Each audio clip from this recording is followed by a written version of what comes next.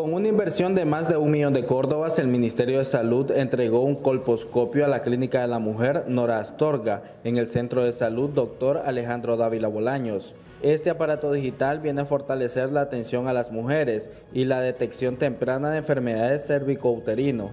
Este, vengo de comarca Bellavista.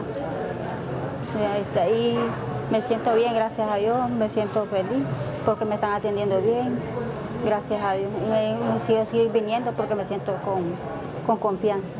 Estamos, verdad, muy agradecidas con Dios eh, por la atención médica que se ha establecido en estos últimos años, ya que tiempo atrás eh, no habían este tipo de, de atención. Eh, hay una atención excelente hacia la mujer. De esta manera, el gobierno sandinista a través del Ministerio de Salud continúa fortaleciendo el sistema de salud en todos los municipios del país. Un equipo que tiene integrado un microscopio, un lente que amplifica y un haz de luz que permite ver a través de una pantalla las lesiones del útero. Esto es para examinar a las mujeres, confirmar diagnósticos.